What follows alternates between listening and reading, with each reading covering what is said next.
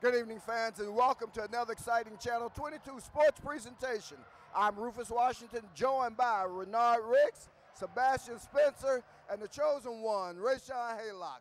We're here at Lawndale High School, home of the Cardinals, as they host the Centennial Apaches in this Pioneer League matchup. Believe it or not, Lawndale still hoping for a playoff shot, even though they come in 10 and 16, 3 and 6 overall, a chance to go for third place they're playing the Apaches. But let's talk first about these Lawndale Cardinals. Renard? Well, I'll tell you, we had a chance to talk to Coach Marks, and he's very optimistic about his chances tonight, Rufus. He feels like his team does have a chance to make it into the CIF playoffs. We think it's a long shot. He needs some help from some of the other Pioneer League teams, and we hope he'll get that. On the other hand, this should be a game for pride. Both of these teams coming in having a terrible league record with a chance to get out of the cellar, if you will. And we hope it'll be an exciting game. We think if everybody stick around, it'll be a lot of fun. Sebastian, your thoughts in terms of Lawndale and also, the, excuse me, also the fact that it's senior night tonight here at Lawndale High. Right, Rufus. You talk about his senior night, and only two seniors on this team, so that's very big and shows the youth for this Lawndale team, and they have a lot of growth and a lot of room for improvement. But like I said, only two seniors tonight, and they're going to look to hold it down for the whole team tonight. So look for them. Rahshaun Centennial a year ago, 28 and 8. Sectional finals, state finals. Came up losing on both, but boy, what a drop off this year to come in at 10 and 16, 3 and 6 as well. Absolutely, Rufus. You just said it. 28 and 8 a year ago. This team made it all the way to the Southern California Regional Finals. That's just one game away from the state championship. This year, not so much. They had a lot of guys leave. Three guys from that team went on to go to play Division One. Two of them playing football right now, however, but they're led by Deontay Burton a year ago. Just one guy back from that team last season, and that's Keith Smith, starting point guard, who coincidentally the first meeting against Lawndale did not play.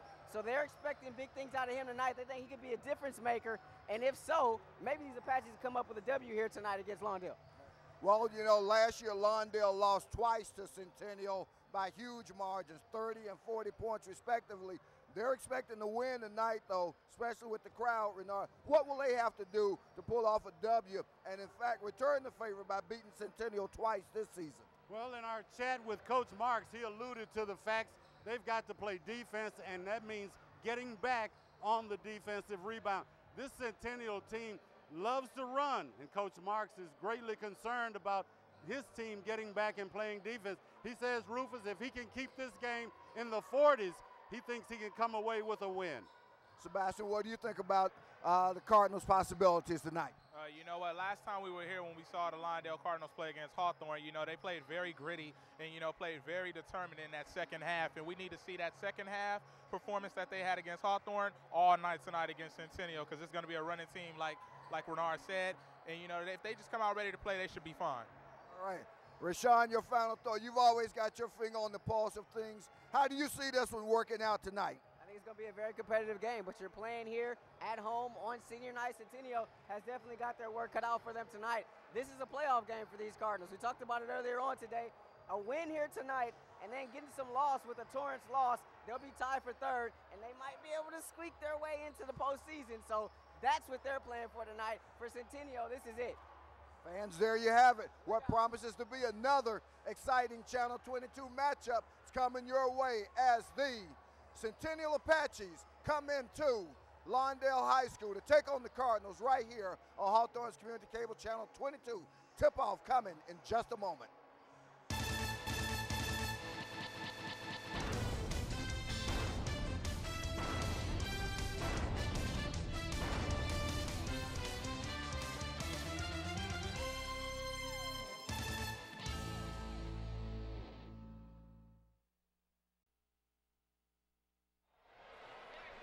Good evening, fans, and welcome to another exciting Channel 22 sports presentation here at Lawndale High School, home of the Lawndale Cardinals, as they will be hosting their Pioneer League opponent, the Apaches of Centennial, who made the visit over from Compton. It is senior night. We let us mention right off the top two young men uh, Renard home. This is a special occasion for them because, in all likelihood, it is their final home appearance They've both been a part of the program. One young man, Aaron Key, just in his first year as a senior, but has made some heck of a contributions. The other young man, Jalen Arnett, I'm sure we'll see both of them tonight. It's a special night for them. They were recognized prior to the start of the game, so we congratulate and commend them on their senior season and their senior night tonight. And you know, Rufus, I would like to uh, also give a shout out to their parents because truly they have probably been the driving force for these young men to accomplish what they've done thus far. And uh, it's just a true attribute to the young men's parents for sticking it out and finishing high school. And I think that's something that every parent looks forward to. And it's certainly a, a, a, and it's a special moment for them. Uh, and it's always a treat and a special moment for us to be here. One of the things we're going to try to do is get a little technical work done, see if we can get I the volume up myself. Renard's microphone so I can hear him in my ear.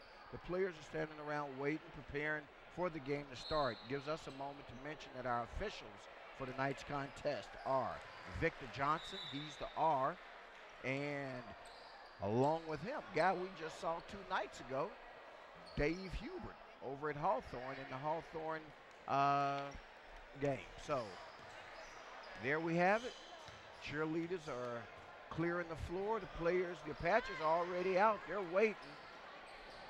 And now here comes your Lawndale Cardinals. Let's talk about who we've got on the floor right now for the Cardinals.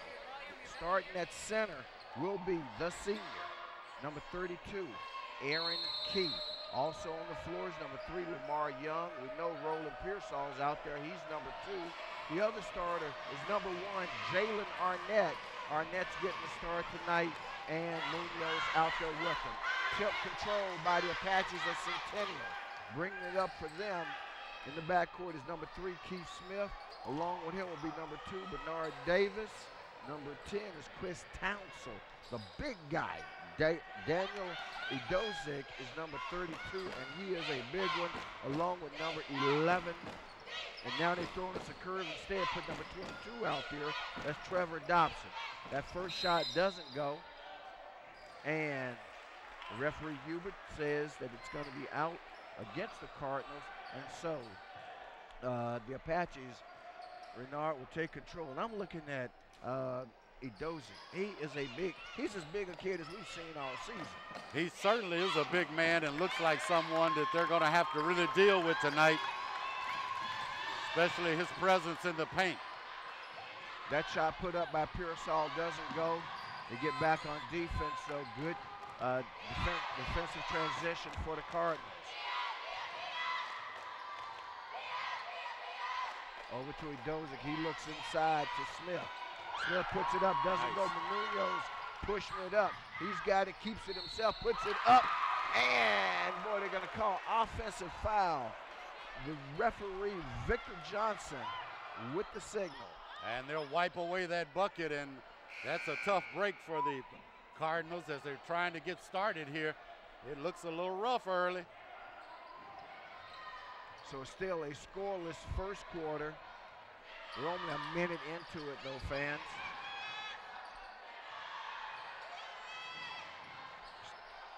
Still trying to get our sound here squared away just a little bit so Renard and I can hear one another. That shot goes up, and it's going to be off for the Cardinals.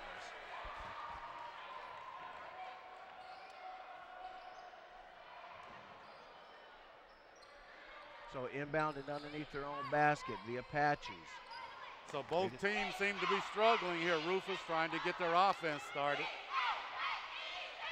So the Apaches pull it out. Now they look inside to the big guy, and he blows a layup. Takes another shot at it, and the young man, Aaron Key, on the foul. So the big guy, Edozic, with an opportunity for a three-point play as he scores the first basket of tonight's contest. And he's the one we want to keep our eye on tonight because clearly Coach Malikin knows this big guy has got to have a strong presence if his team is going to be successful. Good looking stroke on the free throw, Renard. So that gives the, the Apaches the early 3 0 lead. As we mentioned, this team a year ago, a championship level team, having fallen on hard times this season, though,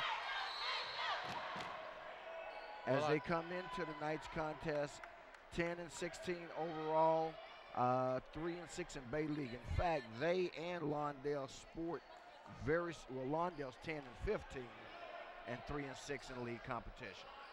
So identical league records, but clearly uh, the Apaches have a better overall record, and we'll see if that has any effect on the game tonight.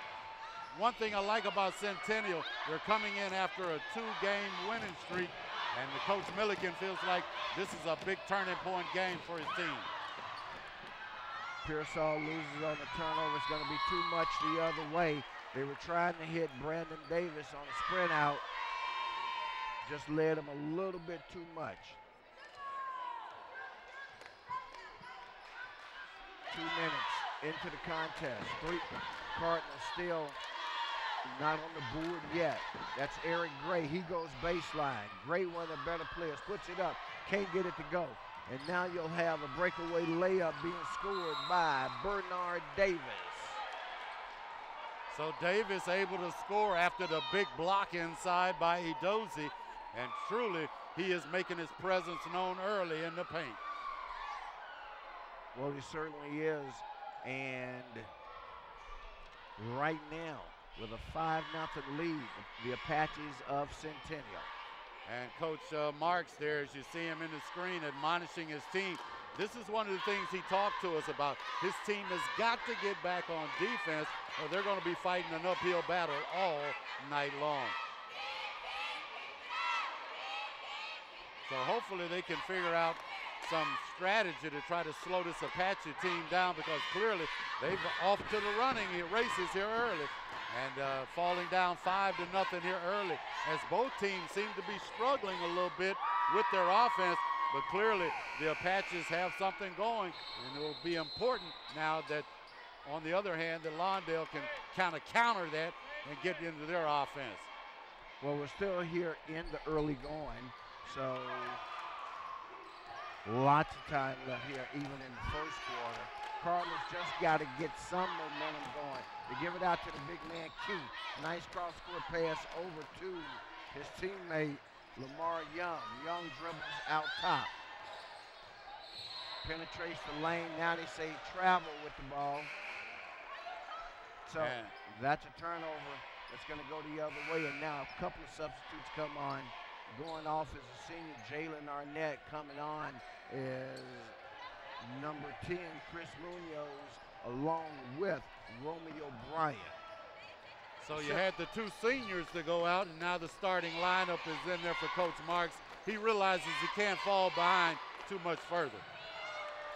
Here's a turnover. Munoz with the hesitation step takes it up. Thought he was fouled, doesn't get a call. Now we come back the other way. The Apaches running. That shot blocked, but the big man underneath puts it up and in. So that's two more for Edosic. And he with five of the seven points for the Apaches. He's off to a fast start here tonight. That shot put up by Gray doesn't go. We come back the other way. Edosic with the rebound. And the big man making his presence feel all over the court, both offensively and defense. They Shot say taken by Keith Smith doesn't go. Comes Yeah. off out of bounds to the Cardinals. Seemed like Edozi there in your screen may have come over the back and knocked that ball out of bounds. And so the Cardinals now with a chance to steal, get on the board here.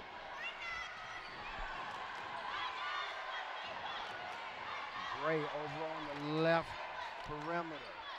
Dribbles it out. Midside Romeo Bryant with Munoz with the shot. Goes up, can't get it to go down. Guys got tangled up a little bit. Fisher's going to talk to him. That was Gray. And looks like it was number 11, Antoine Shepard, and it was. So you can tell both teams realize how important this game is early.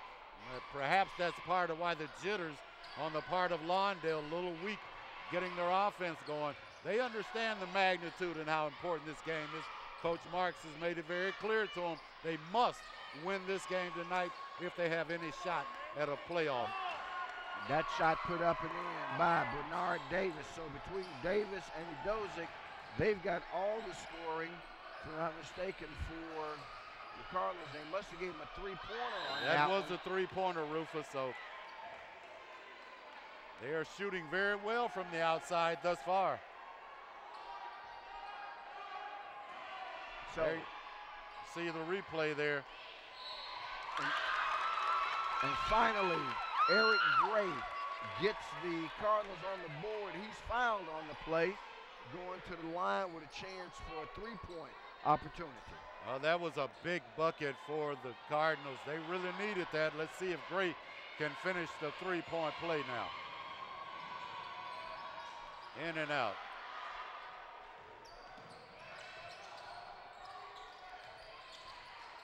So the Apaches back on offense here. Quickly down. Shot is up and no good. And there's your guy Munoz with the rebound. And he likes to get on the offensive board. That's his second thus far in this game.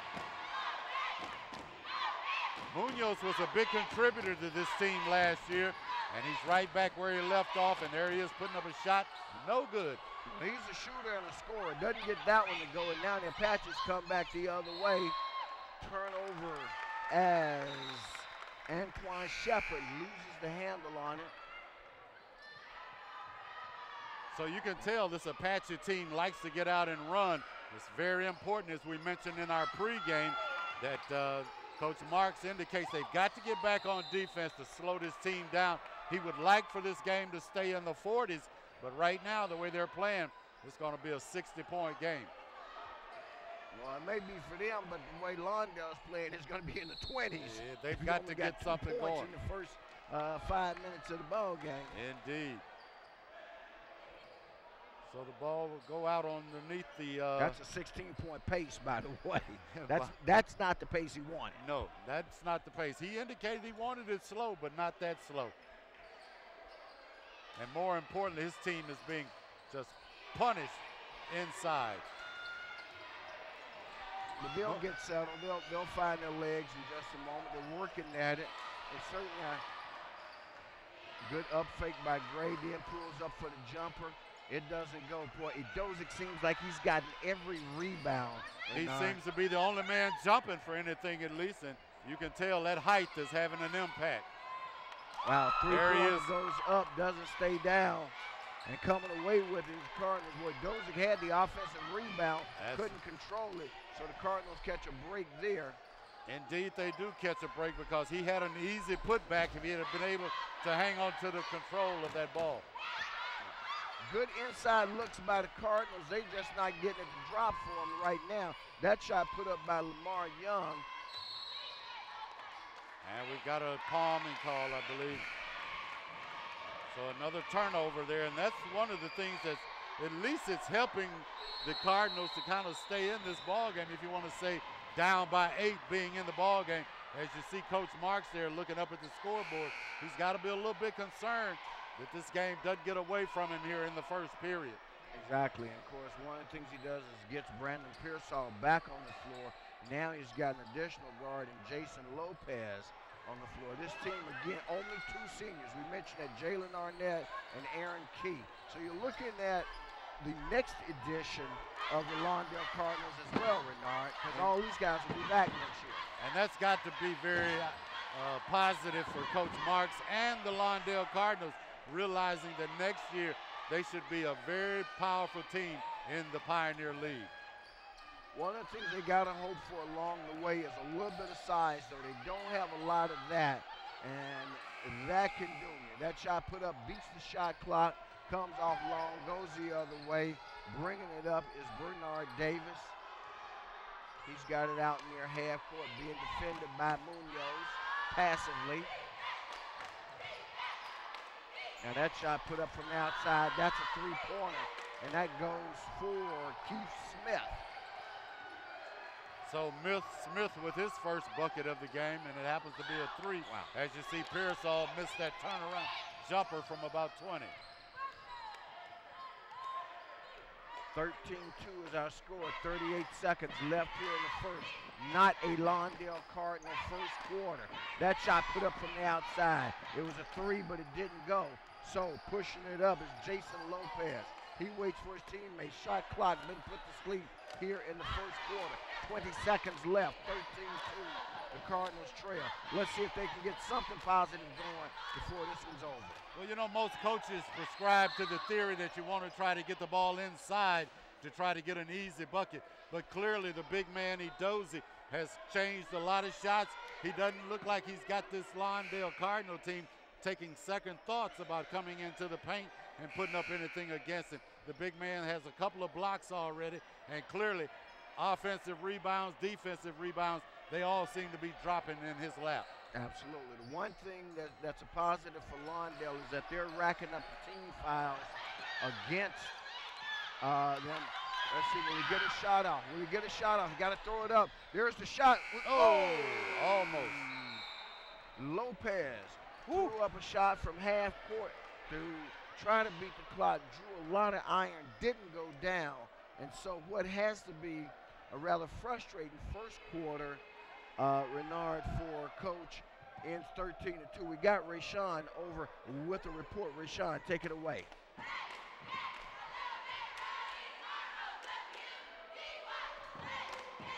Hey, thanks a lot, guys. And we know Centennial was without starting point guard Keith Smith in the first meeting between these two teams. But he said that really wasn't the only issue why they lost that game. I'm talking to Coach Vadim Malkin before the game tonight, he said the real reason was during that time, they were just in a bad place. They had lost three in a row. Overall, as a team, they lacked confidence. They didn't play hard that night. They didn't shoot the ball well that night. But moreover, he says he has a lot of guys on his team that he calls not basketball players, meaning they hadn't played much basketball, they hadn't had much experience, and being able to play in that environment at home and called on to do a lot of things to help this team win was a lot of pressure, which quite frankly, they weren't able to handle being at home, in front of family, in front of friends, etc. They seem pretty comfortable tonight. They seem like they have a ton of confidence, guys, here in that first quarter.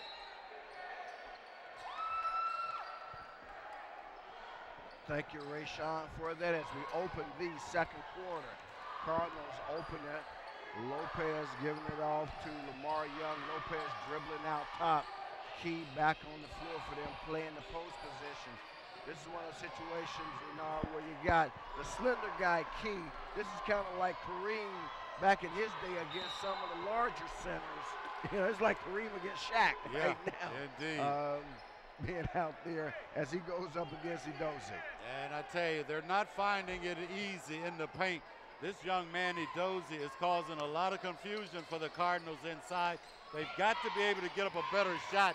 They might want to try to swing it and stop so much dribble from penetration in hopes that they can get an open shot and somebody can knock it down. So another basket for Smith extends the lead now to 15 to 2 here in the first half. A quick second quarter timeout being taken by Coach Glenn Marks. What's he saying to his guys? Well, I tell you, he's got to be telling them they've got to get back on defense, but more importantly, they've got to find some offense. And I don't know where he's going to get it from at this point because no one seems to be shooting and everyone seems to be scared to get into the paint. So they've got to try to figure out can they find some open looks from the outside and in hopes that Gray or Pearsall or somebody can find the hot hand and get back into this ball game. Well, it's going to be interesting to see, and I tell you, they're going to have to start working their way back into it pretty quickly uh, because right now, even though we're early second quarter, early second quarter, they're already down 13 points at 15 to 2. Well, I've got the Cardinals unofficially with three turnovers, so they're keeping it down. But on the other hand, they're not doing anything on the offensive end. Many of their shots are getting blocked. They've got to try to get up a better shot.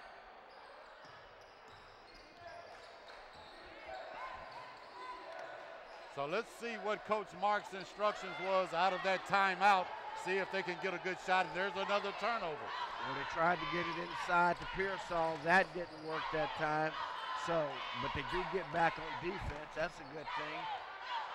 Let's look at the defense they're running real quick. Looks like they're running a basic man-to-man. It goes way out top. I don't think he's a threat to shoot from out there. But that young man is. He puts up a shot, it doesn't go. Boy, Dozier tries to come down with it. Can't control it though. That was Townsend with the shot. There you go. Key McKee decides to pass it off. Not a bad decision. Looked up, saw it Dozier. Exactly. I think I'll do something different with it. And that was a smart decision as you see Pearsall penetrating in the paint, able to get the defender on his backside, and he was able to get one up over the big man inside. And that was huge. Pearsall needs to get started. As you know, he's one of the team leaders, both in scoring and in uh, rebounds, as a matter of So fact. 10 minutes of action, they put up four points. That's another basket by Smith. Smith now coming alive. He's got eight. Lopez's shot doesn't go. Good look, though. Some of those are going to start to drop pretty soon, Renard. And they're starting to get better looks at it, Rufus, and that's got to be encouraging to Coach Marks because earlier they weren't getting good shots up. Yeah, they say he lost it out of bounds. I thought he might have got a reach-in foul, but our official uh, Dave Hubert said, nope, you lost it out of bounds. You see on the replay here the crossover, the reach-in, and it looks like he might be right, went off of his Yeah. thigh, and that's a good call by the official right there on top of it. And of course, the official on the play was Dave Hubert, as I mentioned before, joined by Victor Johnson tonight. Nice inside pass.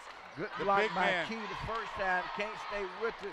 So Edozic goes It goes up. By my count, he's got seven on the night so far. That's correct by my count as well. Pearsall now with the rebound, trying to get something started, puts up a four shot. Sure And did. That one was just a little bit forced. Thought he, thought he might have been able to draw the foul. Wasn't able to do it. 19-4 is the score right now. And you can tell wow, the that's confidence. over the top. You can tell the confidence of this Apache team is growing as many of those point guards are starting to put up shots from the outside. You see right there, Smith with the shot off the iron a little hard. And who underneath to try to keep it alive? You see him coming over the back there. Yeah. That's a young man. Now that young man, Chris Townsend, is just a freshman. He's the only freshman on this varsity team for Coach Milliken, and he tells me he is somebody to watch. He expects big things from this young man. Of course, next year, as you see the turnover, trying to get it inside to Pearsall, and there's the doozy to knock it away. Dozier broke the play up. Actually couldn't control. He had a chance uh, to, to force a turnover. I think it caught him off guard a little bit. He wasn't expecting it. Eccles, Beckles, I should say, with it. Swings it over to Gray, Eric Gray Jr. Got a push downside, inside. I think it's going to go against 32 Edozie. Let's see. No, they called it on number 11. That would be uh, Antoine Shepard. So Shepard picking up his first personal.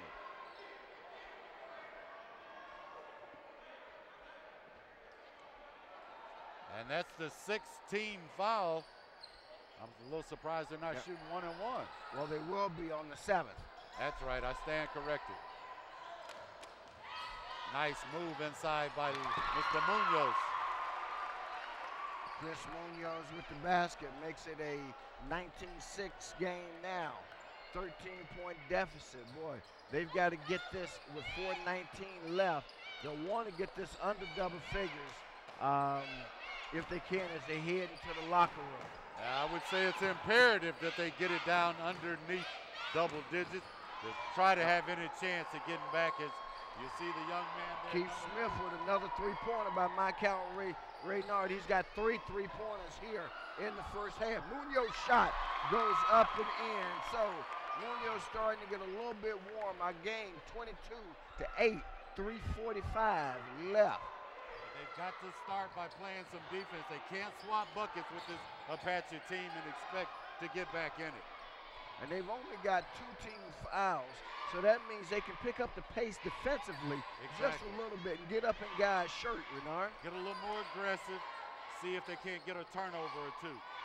Wow. And they just let the young man Smith sit outside and jack up another three. That's four triples for Smith now. He's got 14 points here in the first half.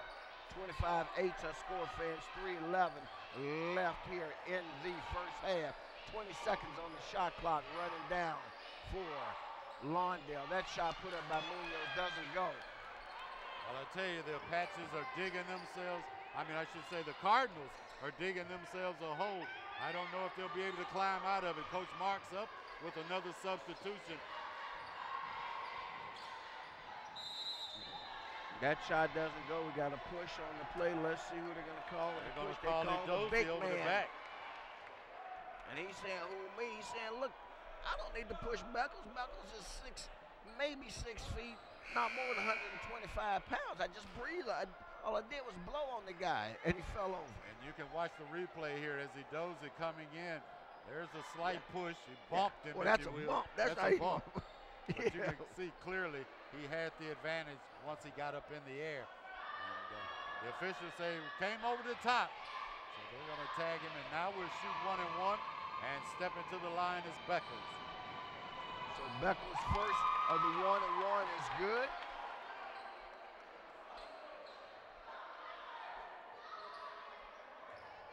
So down by 14. Got to try to see if they can get something here in the next two minutes and four to five seconds. And Beckles knocks them both down. That's a good sign.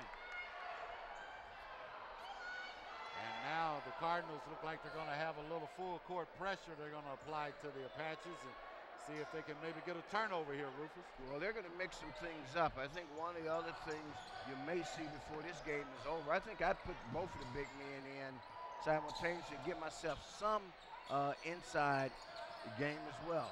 Good pressure out top. Now Edozie from the from the wing gets it to drop. Daniel Edozie, he's got nine points on the game. Big man is smooth down underneath as Pearsall back up on the other end. Pearsall with four on the contest, 27-12, 15-point game. It's been in that range all night. Uh, Renard after a 13-2 opening quarter for the Apaches of Centennial. They need to get out on this young man Smith. He's really starting to heat it up. And clearly, they're taking time off the clock, working it around and getting good shots. But the Cardinals can't continue to swap buckets with this Apache team if they expect to get back in it. That deuce put up doesn't go. Comes back the other way. Rebound taken down by Marcus Millam. Big trip Trapped outside. underneath is Gray. Gray can't get it to go. Took a shot from the inside. Now they got numbers for Centennial, but they slow it down and looks like they're going to maintain possession on what was a possible turnover. Thought it may have gone off one of Centennial guys, but the officials right on top of it says no, it went off of a Lawndale Cardinal. I believe they thought that might have been Mr. Gray coming over to get his hand in that cookie jar. And the official right on top of it, Dave Hubert, says it will stay down here with the Apaches. Chase Hooper, number 12, comes on, making his first appearance of the night by my count. Shot put up, doesn't go. That was Smith. Of course, he's got the privilege to do that if he's got 14 points in the first half. Munoz gets inside and gets the teardrop over the big man. I like the way Munoz is attacking that bucket and able, as you said, to get that teardrop up over the outreach hands of the big man. That's what they're going to need to do to get back into this ball game. And let's see if they're going to get a pushing foul. Looks like it's going to go against Pearsall. I thought they might have called traveling because there was he didn't have to gain any ground. He just was trying to turn around, lost his footing. But the officials say you got to give him that chance to turn around. Well, it looks like the travel did occur first, but Pearsall was down and he may have tripped over his foot. Still only the third team foul here, and Pearsall's first. 49 on the shot clock, 25 on the, uh, I mean, excuse me, 25 on the shot clock, 49 was on the game clock. Wow, Dozy just skied in there to take that rebound. That shot put up doesn't go. Eric Gray comes down with it, gives it off to Pearsall. He passes right in front of us, decides to slow it down for a minute as he's being defended by Keith Smith. Pearsall shot from way outside. Looked good, but didn't go. Shot put up. They're battling for it underneath. Coming away with it is Marcus Miller. Pearsall with it with 10 seconds left on the game clock here in the first half. Let's see if they can get one good look. Here's Pearsall's good look. It goes! Three-pointer for Pearsall. And what we talked about That makes it a 27 17 score at the half. And boy, I can't tell you how big that three pointer was, Renard, because, man, you know, we, as we see on the replay, Ball goes all out of the shot of the camera, but it Right. drops right through the bucket. And Rufus, as you alluded, that was a huge bucket and certainly a momentum builder, we hope, for the Cardinals as they go to the locker room down by 10. And I'm sure Coach Marks has got to tell them, look, guys, we played well in that second period. We got off to a rough start. We've got to get out of this into the third period. Have some good defense. Try to get wait, some wait, wait. turnovers. Get back into this game. See if they can't make it a game in the fourth period. All right, well, fans, as we go to half, but before we do, we got Sebastian Spencer standing by. Thanks, guys. The Lawndale team came back in the second quarter with a little bit of a run there in the second quarter, and they were regularly down by about 20 points in that second half. I mean, those guys just cut it, cut it, cut it, cut it, cut it. Cut it, cut it. All right, well, swinging back over here, over. little Sebastian, he, he he's in training, and he wants a nickname. Now, now he sees why he doesn't have a nickname. At least he won't have one that he likes. But at any rate, here's what we got, fans. We're getting ready to go to half, but the Lawndale Cardinals made a heck of a comeback in that second quarter to make a game out of it as we go to half. It's 27-17 in favor of Centennial, but the Cardinals are starting to flap their wings.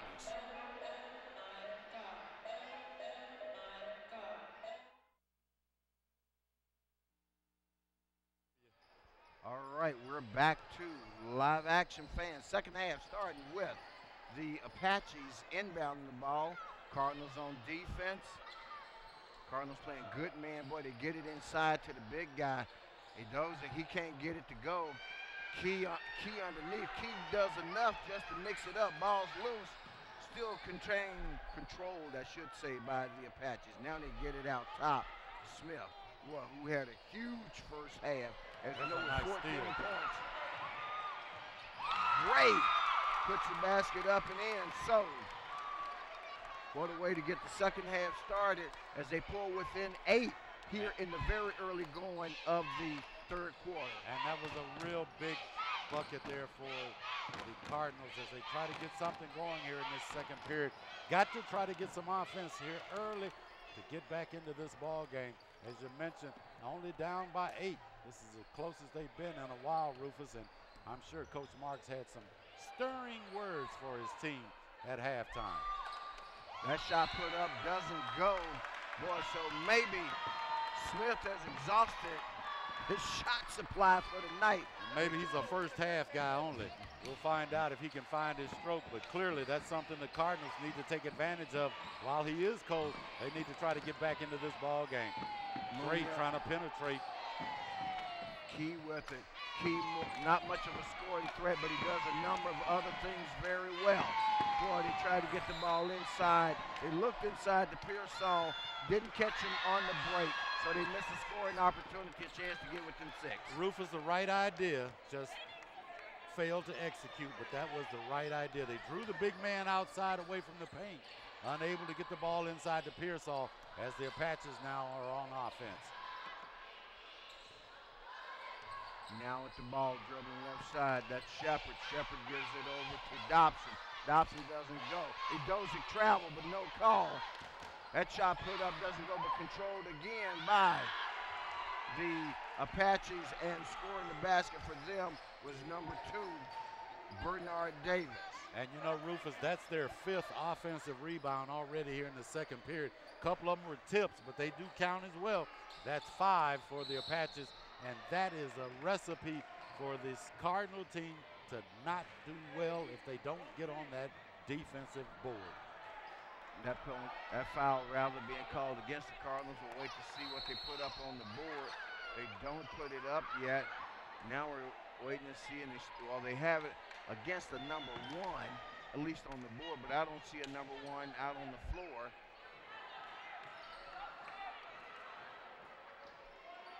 And um, I guess maybe it was number 10, Chris Munoz, that they were referring to.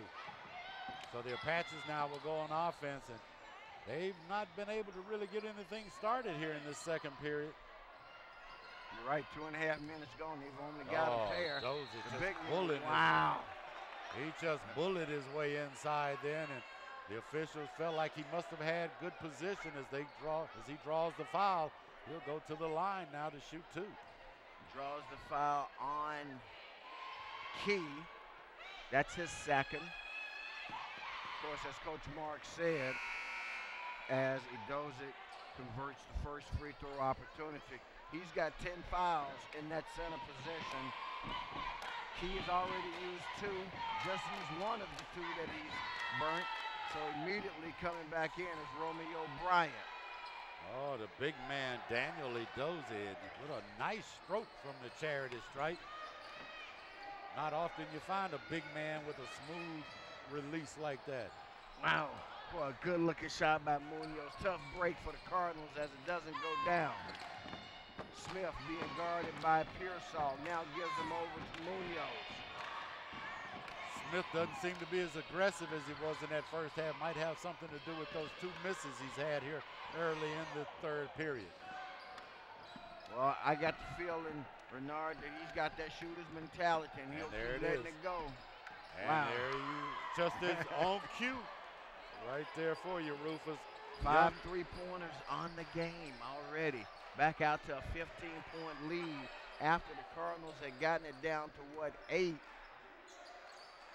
Rufus, I had a chance to check the scores book at halftime, and they have him with that one. That was his fourth. They gave one of those early ones to Davis. So, uh, Okay. but uh, Smith certainly uh, with 16 points here in the game thus far, he's really found his stroke. And Coach Mark says, "Give me time out. Let me talk to my team as we're starting to fall a little too far behind again." And they had gotten within, I believe you said it was was was eight because we came That's out right. at 27-19. That's right. Then it was 20. Yeah, it was 27-19 at one point, and right. now it's back up. They've been outscored uh, by seven over the last couple of minutes. And I'm sure Coach Mark says why he called that timeout as you look into the huddle there of the Apaches. Coach Milliken admonishing his kids to keep up the pressure, I'm sure, as they seem to have found the recipe to get and have a lot of success. As long as they can get the ball inside, and as long as they've got Davis on the outside, I should say Smith, shooting with the accuracy that he is, they have no problems. Everything seems to be coming up roses here tonight for the Centennial Apaches. And thanks to the fine work of our crew, uh, microphone sounding much better. Our Indeed. acoustics a lot better. So great. Thanks, guys. We appreciate the help. Indeed. Well, let's see if uh, Coach Marks now has a play designed here on this inbound, and certainly looks like he's trying to pick up a little token half-court pressure to try to just slow this uh, Apache team down. But they've been very methodical in setting up the offense once they come across the timeline. It's on those missed shots that they've not been able to get back and keep them off of the I should say keep them off the glass. They've had a lot of layups when they got out and ran. Here's Smith outside again. And he dozy on the rebound, unable to control it, but down on the floor. Oh, you Wow. love to see the big man get Yeah. down. And what happened was there's going to be a foul call against the Cardinals because Edozie was down on the ground and somebody just laid on. Let's see who they give that to. Looks like they give it. Well, they put it on uh, number two. That's Pearsall, and that's his third personal. Boy, now that's a guy they can't afford to have in foul trouble. Indeed. He's the only one who's really showed any offensive uh, paralysis here tonight, and you've got to wonder if they can do anything. They've got to keep him in the ball game. The Apaches taking some time off of the clock here, trying to get into their offense. Swing it to the wing, get it inside to Dozy. There he is. And in four and a half minutes, the Cardinals playing the third quarter very much like the first quarter, uh, Renard, where they've only got two points in four and a half minutes of basketball time. I tell you, this uh, Cardinal team acts like they hate the first and third periods of the game, and they're going to have to try to get out of this funk, certainly in the next couple of minutes, or they're going to be behind so far. They're going to spend the entire fourth period trying to get back. Eric Gray shot doesn't go. Now they get it underneath. There's a shot attempt. It's put up and in. That's by number two, uh, Bernard Davis.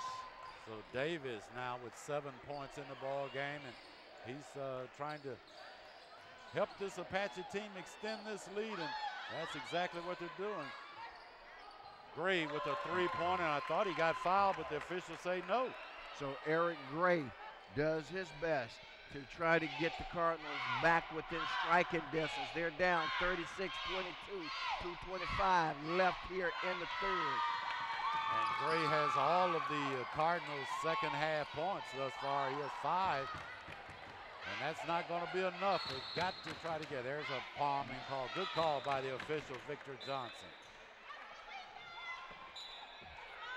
That's one of those things you have to, you know, kids see the professionals do it and they feel like they can do it, Rufus, but Right.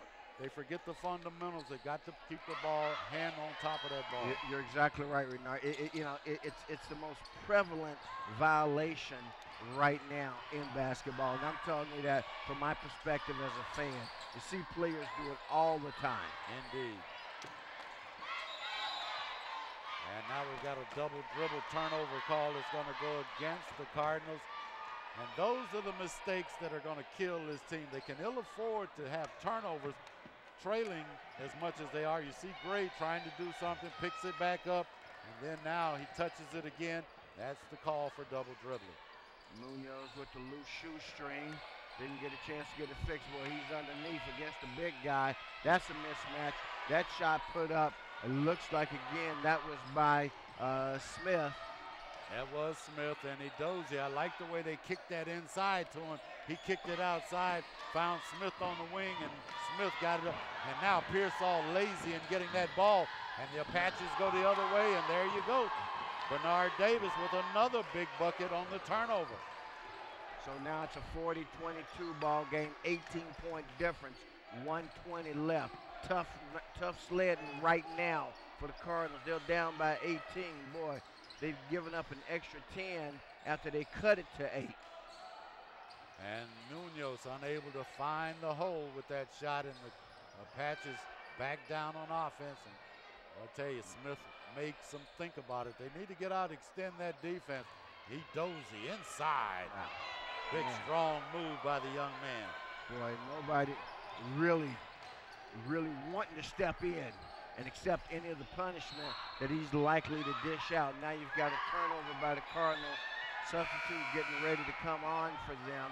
A couple of substitutes, as a matter of fact, coming on for the Cardinals are Jalen Arnett, num- number one. Number four, Marcus Millam comes on, along with number 12, Jason Lopez. Now you got Aaron Keefe. So you just got wholesale substitutions. The only guy staying on the floor is Pearsall. And I think Coach Marks has resided that with 44 seconds left here in the third period, might as well try to get some of these players who hadn't had a chance to play a lot a chance. And the official said Pearsall didn't get the position quite in time. He's going to draw his fourth personal. He's going to find himself on the bench or out of this game if he continues to play with the aggressiveness he's been playing with thus far. And of course, the clock and scoreboard operators not helping us very much because now they go from it was number two with three to number two with two personals. So not quite sure what the facts are at this point. Well, the Apaches will keep it and take it out on the side here in front of us. And the hot man on the court, Keith Smith, with the ball. Pearsall tried to draw the foul. That triple put up and in by number 10. That's Townsell. And that's the freshman on the team. As Pearsall driving in the paint and is going to draw the foul. Looks like it's going to go against, uh, I believe that's going to be Davis who was reaching in. Well, certainly the guy on the floor, number 22. I'm sorry, 22. Dobson. Yes, Dobson in the ball game. He's limited his action tonight. And first time in the scoring column. I shouldn't say scoring column, but he's in the books now with his first personal. so Pearsall with a chance to try to get his team here some scoring. And that's Pearsall's first point of the second half. Comes with 13 seconds left here in the third. And that's a recipe for disaster, if you will. This man has got to do more scoring if his team has a chance. Well, he converts a pair. Now he'll go to the bench. And that's probably a wise move on the coach part of Coach Marks because unofficially by my record he has four personals. And I think that's what Coach Marks has on his book as well. Shot doesn't go. Boy, tipped up and catching a lucky break of the Cardinals. But boy, got to tell you, after three quarters, our score here on Hawthorne with the cable channel 22 stands at 45 to 24. And now we've got Sebastian Cut Spencer with a report. Take it away, Cut. Thanks, guys. The Lawndale Cardinals went into that half with pretty good shape when they got that lead. Well, I mean, when they got when they came back from that deficit in the second quarter. But you see, in this third quarter, they built that deficit up even more, and now they're digging themselves a bigger, bigger and bigger grave. As you can see, these guys are down by 21 going into the fourth quarter. When we talked to Coach Glenn Marks at the beginning of the game, he said he could keep this game in the 40s and they would be good. This team has already at 45 points for the game. Let's see what they do in the fourth quarter. Back to you guys. All right. Hey. Well, Rufus, the Apaches scored 18 points in that period, and clearly that was not what Coach Marks had in mind. They have got to figure out some defensive plays or some defensive stand to try to crawl their way back into this game. It's a big uphill battle from here, down by a score of 45 to 24. Well, you've almost got to score on every possession, and you've got to play good defense on every possession. As you said, down by 21 in the high school game where you play eight-minute quarters. You see Munoz on the replay pulling it out. Now back to live action as Pearsall with it. Pearsall blocked on the play. I thought he should have drawn the foul. No call made. He's slow getting up. Wow. Smith Nice. breaks the ankle. Nice reverse dribble there by Keith Smith as he's able to shake and bake his way inside for an easy kiss off the glass. And I tell you, this Apache team, I believe, is just about taking the heart away from these Cardinals as you see Smith there as he goes strong. And the big man, number 32 over there, Aaron Key, unable to get his hands on it to block it. As you come back live, Coach Marks in there talking to his team.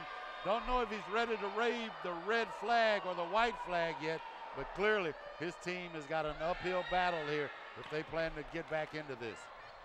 Well, I think they're going to fight it out, uh, Renard, as best they can because we, we haven't talked about it in a moment, but they are nonetheless competing for what they hope will be a playoff opportunity.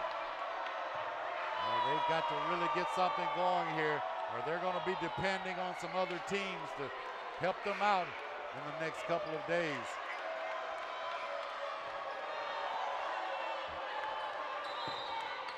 Look like we got a little better competition on the sideline between the cheerleaders here going on. The Apache cheerleaders say we can do a cartwheel, and the Lawndale cheerleaders say we can do two. Exactly. And we can do a one-handed cartwheel at that. There you go. So we may not win the game, but we might win the cheerleading battle at least. Pearsall can't get it to go, shoots an air ball on the play. What, 47-24, our score right now. The confidence of the Cardinals doesn't look good right now. They need someone to step up, try to get some momentum here so that they can get momentum and build some confidence here in this fourth period that's ticking away from them. That one doesn't draw iron. That was put up by uh, Oh, Townsell. And that could have been a turnover as number three, Lamar Young, driving inside, got up in the air, drew the foul, and he'll step to the line and he'll shoot two here. But what I like is that Lamar Young attacked the basket. Here you see him going. Doesn't show any reservation. He pulled out on the right as he was going to the rim.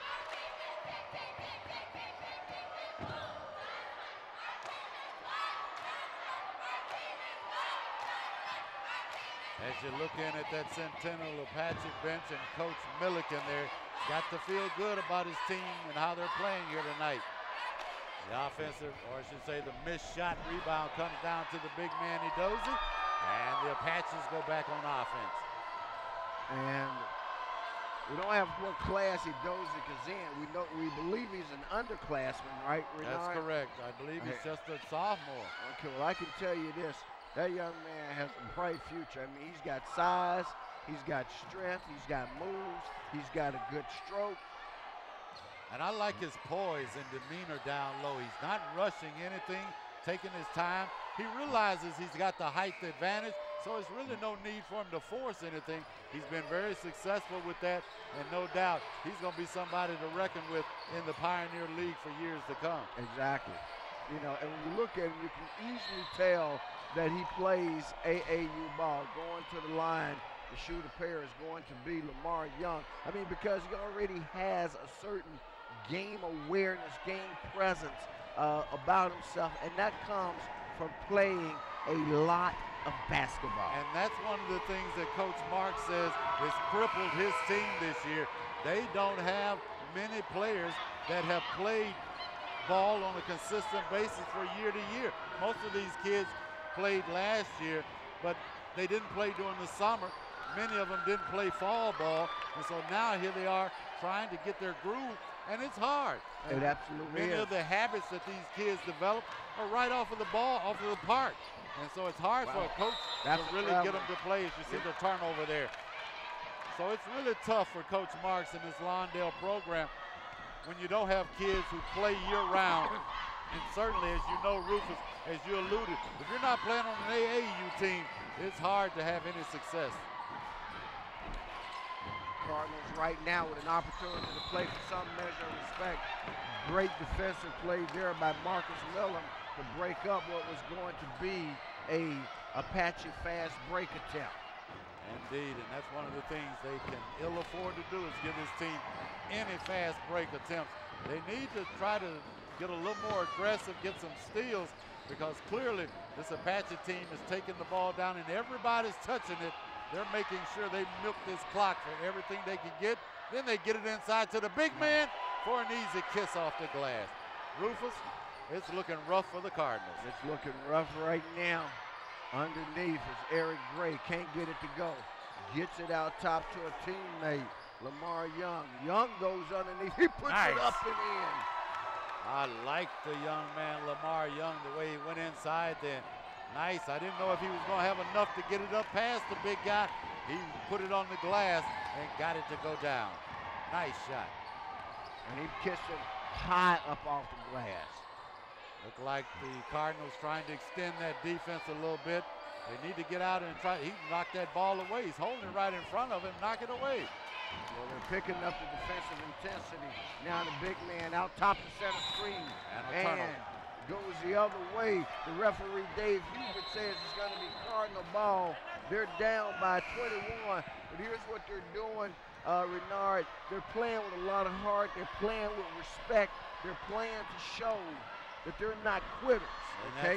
that's, that's a great thing, and that's something that I'm sure Coach Marks has got to be happy about because that's something that really demoralizes a coach. When I've worked with them, or you've worked with them all year long, and you see a team go out and not have their best game, you can only hope that they give their best effort. Not every time are you going to have everybody scoring in double figures. All you can ask for your team is to go out, give the effort 100%, and we can walk away with our heads high and feel good about what we've done. All righty, Rahshaun, take it away. Thanks a lot, guys. As you know, the Centennial team is a proud program. They dominated the better part of the last decade under then head coach Rod Palmer, winning two Southern Southern California regional championships, a state title, and also a CIF crown. Well, four years ago, Palmer went to go be an assistant under Coach Dan Monson at Cal State Long Beach. But his assistant while at Centennial was Coach Milliken. And I talked to Coach Milliken about their relationship before the game. He said the two talk practically every day. They're best friends. They're the godfathers of each other's kids. And they've both learned and grown and known so much about each other. They've been friends for the better part of the last 20 years, guys. See, there you go, Rahshaun. There's no cut in that guy, that's for sure. That's why he's called the chosen one. And he does do an outstanding job of finding the tidbits that sometimes you wouldn't know unless you watch the game. He absolutely does. Munoz puts up a deuce right there, 49 to 30. Our game score with four minutes left in the senior season of Jalen Arnett and Aaron Key. And you can tell Coach Milliken is giving his team instructions. You take that ball across the timeline, everybody touches it, milk it, and then you get it inside, get it up for an easy shot. The Apaches can't get it up as we've got a lot of defense in the paint. It could have been an easy three-second call, but the officials say they got their hands on it. They're going to jump it up, and the ball will go to the Apaches. The possession error. Boy, you see a lot of contact in there. A lot of things. The official right on top of it, though, letting them play, as the saying goes. Ball's loose. Nobody actually even knows it's a loose. So let's see how much time they're going to take off the clock on this possession. Yeah, Smith says no possession needed. I've got the game to fill it up. Boy, Smith has put on a real show here tonight. I guess depending on which record you look at, he's got a ton of points. No matter how you slice it, showing five threes, that's 15. Three doubles is six, that's 21 points. He is the man that is possessed and certainly the man of the hour here for the Apaches. He certainly brought his A game tonight. He realized how, how important this game is. That shot put up and in by Lamar Young. Lamar Young has been all of the offensive effort here in the fourth quarter for the Cardinals. He's got five points, make it six, four free throws, and a basket. So Lamar Young has more points than anybody for the Cardinals off the bench here in the second half. Young man starting to pick a pace up for his, at least for himself, if nobody else. It would be good to see the rest of the team recognizing that somebody's playing, and I hated to have to play and felt like I was the only one playing, Rufus. Jalen Arnett, the senior, underneath. Wow. Man, nothing they can do against the big man. That's going to be a foul. Looks like that's going to go on Romeo Bryan. Good effort on Romeo. Just got caught out of position. And that's exactly what happened. Rufus found himself out of position, trying to reclaim that rebound that he once had his hands on. But the big man, Edozie, had his better position. And therefore, the Apaches got the ball, but they turned it right over back to the Cardinals. And you're right. I can't wait to see Edozie play next season. I really can't. Munoz way down south. And that's what the Cardinals need a few more of if they try, want to try to get back into this ball game. Maybe they need to try some picks and screens for Munoz, see if they can get him off. And we've got a turnover, just again what the Cardinals need. And again, you're right. They need triples and they need quick triples in order to get back in this. They're down by 17. 244 to go. You know, two or three of those in a 15, 20 second span, that means you're forcing turnovers. That's All right. of a sudden, you've got yourself a ball game. Let's see if they can pull it off, fans. That's why you're watching right here on Hawthorne Lawndale's Community Cable Channel 22. And you know how momentum is. They'll think a couple of good shots, a couple of buckets, and they clearly could have momentum on their side, and that's just what I think they need, but unable to score on that trip down. Missed opportunity. And that's what you don't want when you don't get a good opportunity. And boy, the big man, Edozie, just swoops in over everybody. Just cleaning up. That's what you call a real window washer. Munoz with a foot on the Again. line, so it was just a long deuce. That shot put up from the outside, that's a three-pointer, doesn't go. Munoz, Munoz pulls it out now for a second. Now he attacks the basket, loses footing, and he's going to be called for travel. Had the right idea, but found a slick spot on the floor. It'll go the other way, so now they're down by 19. Coach Coach Milliken decides to make some wholesale changes as he's bringing in three of his bench players. Give them a little time here, perhaps uh, trying to save his team for the playoffs, or more importantly, maybe give some players a chance to get some playing action in case he needs them in the playoffs. Well, he's got Arthur Henry and Mike Nichols on the floor. That shot doesn't go. That shot was taken by Chris Townsend. Coming out of it, though, it are the Apaches. And Townsend, the young man that took that shot, is the only freshman on this varsity team for Coach Milliken. And now you've got Keith Smith, who's had an outstanding game tonight. That shot put up from the outside doesn't go. That was put up by Mike Nichols, one of the guys who just came on the floor. Pearsall puts the shot up.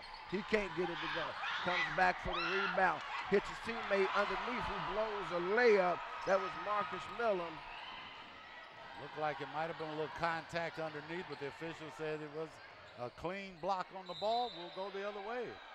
Now we've got a, I think we've got a. Out of bounds. Looked like they're going to say the uh, Centennial player stepped out of bounds on the play. On the sideline, the official Dave Hubert from his position making the call.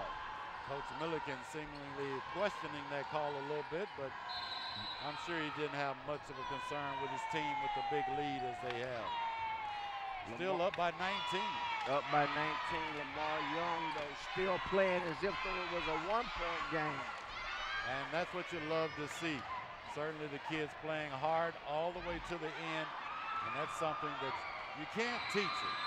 Something kids have to want to do, and it's really an, something you admonish, admire watching. Fans really getting into it here tonight. And Yeah. This is senior night for Well, the two. that- and that's what makes it high school sports.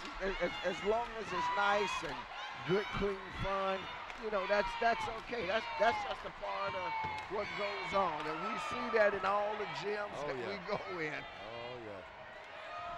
And the kids need some way to let off some of that steam, and clearly this is an excellent atmosphere. And I think it's one of the things that I've tried to admonish parents to be more supportive of high school sports because clearly these are the building years for these young people.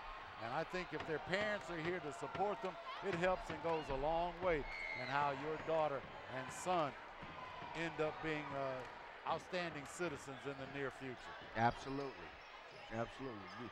Because for, for most people, let's face it, wh- wh- wh- whether you're seniors like we are of a different nature, or seniors like these kids are, high school is actually for many, if not most, the most fun part of your of your life. It really and truly is. I tell you, I think they don't realize, and I'm sure you can attest to it, but when you got out of high school, you wanted to go back. And Exactly. these young kids don't know what opportunities they are having here on the high school level as you see the Apache driving the lane, gets up a shot.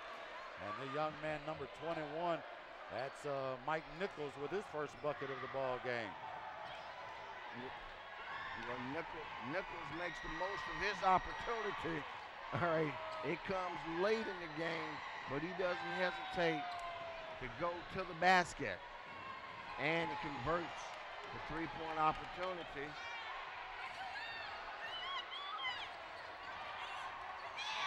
So the Cardinals now on the offense, trying to get up a quick score.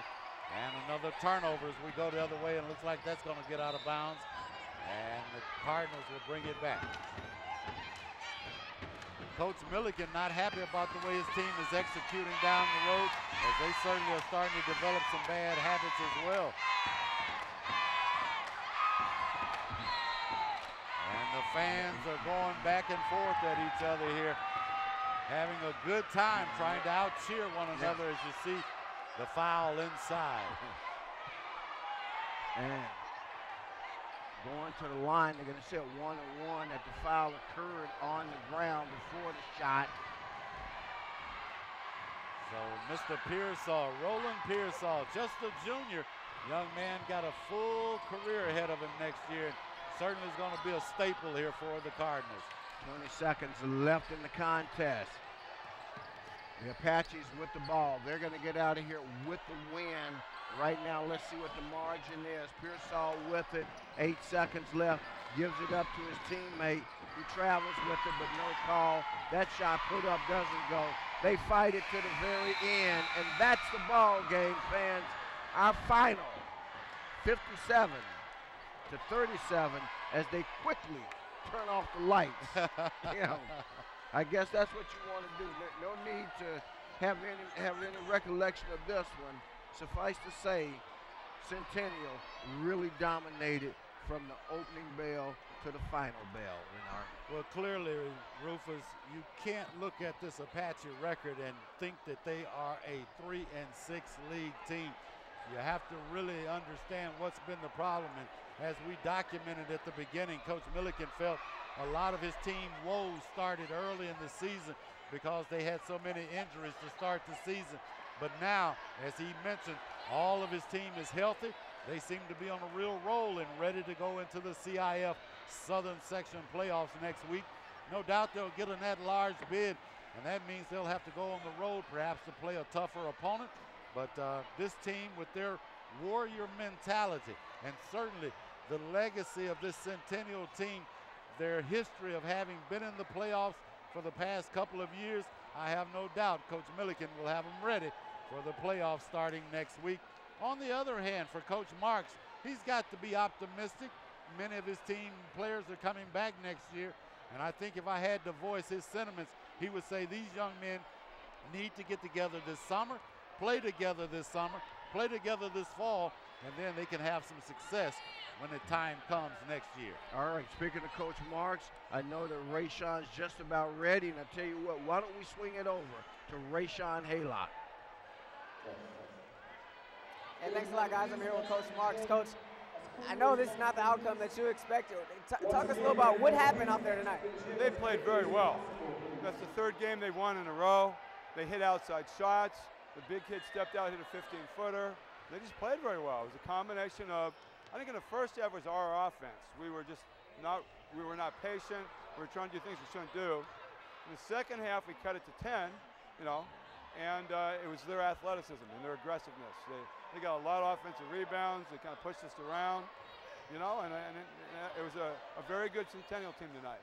A couple of things that I noticed. Tell me if I'm wrong about this. It seemed like you guys came out, you're maybe pressing a little bit, and, and also their physical play. Did that, that surprise you as well? No, you, look at them. I mean, they're Centennial, still Centennial. They've won three games in a row. Obviously, they got a very good point guard, and we didn't know he could make those threes. We obviously went behind on the screens, and we, and we took away. He hardly had an assist tonight and that's what we tried, but he hit a bunch of threes. Uh, we didn't have too many of our key guys play very well tonight. Uh, you know, a little pressure into the season, but I'm not going to criticize my guys because they played well when it mattered uh, Tuesday night. You know, and, and, I said earlier about this league, every given night somebody's going to play well. We played them twice. They shut us down tonight. We shut them down the first time. You got a dejected bunch in there. What do you tell them? Well, they're dejected because they didn't play well, and they also know they have to perform at the end of the year to make the playoffs. So hopefully what I tell them on Saturday or on Sunday is they're in the playoffs, and they won't be dejected. Hey, thanks for stopping, Coach. Thanks appreciate it. That's Coach Glenn Marks. Obviously got to console uh, a bunch of guys in there in that locker room right now, and definitely not the outcome this Cardinal team was looking for, guys. Well, it, it, you're right, Rahshaun. Thank you very much. Definitely not the outcome they were looking for. Renard coming in, considering they had held this team to 27 points the first time they played them, beat them 42-27.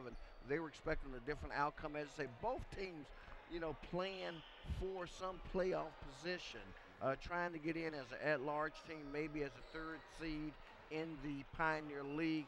Didn't work for the Cardinals tonight, but boy, there are a lot of positives that they can take away from this experience. And those positives start with the fact that finally these guys have gotten some time playing together. Uh, hopefully, they will continue that in spring ball, summer ball, and fall league in preparation for next season. But tonight just didn't work out for them. But boy, it was a heck of a night for the Apaches of Centennial. Indeed, an outstanding game for the Apaches from Compton Centennial as they get ready to go into the playoffs. On the other hand, as you mentioned, Coach Marks has got to be optimistic. He's got a lot of good young players that will be returning next year. So I think for Coach Marks, he's got to feel optimistic about the chances. But as you alluded, they need some work, and it'd be nice if he could find him a big man over the course of the summer. You certainly would be, and certainly there's no bigger man that that that, that was on the floor tonight than Daniel Edozie. Just to run through the scoring real quick for Compton Centennial, then we'll give you the Lawndale scoring. But they were led by Keith Smith, who had 21 by my count. That's Edozie, right. the big man inside, was a load. He had 18. Uh, Bernard Davis had 14 along with three by Townsell and three by Nichols. So they had three guys in double figures with 21, 18, and 14 respectively. And you know, Rufus, un, what I think was I was most impressed with was the big man Edozie. He had, and unofficially, according to my stats, over 20 rebounds, and over half of those were offensive rebounds. The young man was just all over the glass tonight, and certainly he is someone to keep your eye on in the future. Absolutely. Now let's talk about the Lawndale Cardinals for a second, because this for them is where they start to grow and go from. Exactly. So here's what you had. You had Roland Pearsall had nine, Lamar Young with seven, Chris Munoz leading scorer tonight with 11, Eric Gray Jr., who carried the load in the third period for him, he had uh, seven, and uh, Rolando Beckles with a pair. That rounded out the scoring for them again as they put up 37 points, but it wasn't enough. It was close to the 40 that uh, coach talked about. Mm-hmm. Unfortunately, they gave up almost 60 defensively, and that won't get it done. But it looks like right now we got C and C ready. We know that that stands for the chosen one and the cut one. so let's take it away. Give it over to them. Hey, thanks a lot, guys. Uh, Rahshaun Haylock here with Sebastian Spencer. Lawndale's playoff hopes went Apache way. And at least that's what it seems like. You look at the numbers, it doesn't appear that what they're bringing to the table is conducive of a playoff team. But hey, we remain optimistic. Talking to Coach Marks, he still believes this team has a shot. And so eh, we're going to remain optimistic until the, the, the, pairings come out Sunday and they say that Lawndale either is or isn't in the playoffs. Sebastian, what happened out there tonight? Uh, you mean this this game started off bad and it and it ended bad. And you know, Lawndale tried to get back in it after that second quarter. They had a little run going into the half, but you know what? When they came out in that third quarter, Centennial brought that lead right back up with their three-point shooting from the guards. And you know what? They answered the call in the night, and they were persistent. I mean, very persistent from outside and inside. You know, that big guy, the big guy for their team had about, I don't know how many rebounds, but he controlled the paint tonight, most definitely. And Lawndale, they don't really have anyone big, you know, or, you know, strong enough to contain a guy like that. You know, Aaron Key, guy who plays center, but, you know, just starting out, how is he supposed to, you know, compete with a guy like that, a big muscular guy, guy out there looking like Dwight Howard, you know? So. Yeah, Daniel Edozie. It was all about Daniel Edozie, the big fella down low tonight. I mean, he was physical. He got in there, seemed like he got any rebound that he wanted. And of course, Keith Smith, his shooting from the outside was really, really kind of what steamrolled the Centennial team in the first half. Really, it was the dynamic duel. It was both of those guys. Um, playoff hopes. It, it, it doesn't look like it's going to happen for this Lawndale team. What okay. do you think about that? Well, you know, if, if gotcha. you're Lawndale, I mean, you know, you look at this as, you know, a win and a loss because, you know, if they don't get into the playoffs, you know what? They have next year. This is a very young team. Like we said earlier, only two seniors on this team. So this team has a lot of growing and a lot of room for improvement. So, you know, they get in that they get in the gym this spring, summer, come back ready next fall and be ready to play and, de- and defeat and whoever comes in their way next year. This is a team who's getting better game by game as we see even with the young players that they do have as inexperienced as they are, they still show a lot of poise in the game. You know, even when they were down, you know, they came up a little bit, went back down. They come up a little bit. These these guys play a little bit up tempo, and then they go back down. So you know, these kids, they they they really they really are making something. You know, I think that next year these kids will really have a good good chance to make a run, make a run in this uh, make a run in this league.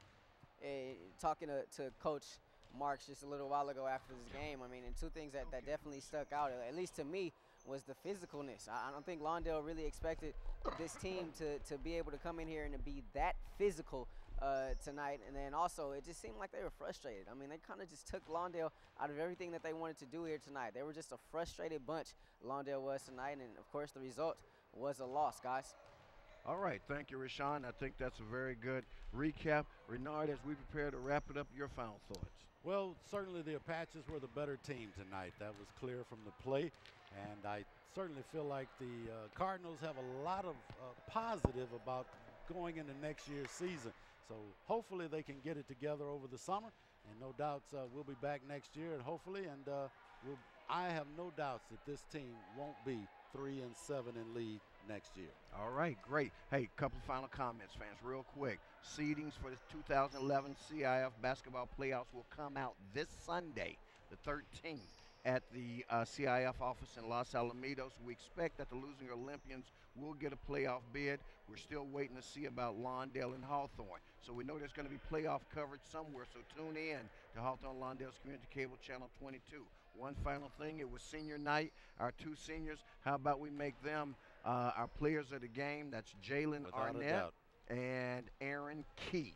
Uh, two men who contributed tonight and over the course of the season. And for them, it was their special night. And for both of you guys, we honor and recognize you as the Channel 22 players of the game. So, Congratulations. for my partner, Renard Ricks, for Sebastian, for Rahshaun, and the entire crew, including Tug and Jeff and Tom and Manny and Francisco and Eric and Norma and Jose, for everybody associated with Channel 22 Sports, it's always a pleasure to have you join us.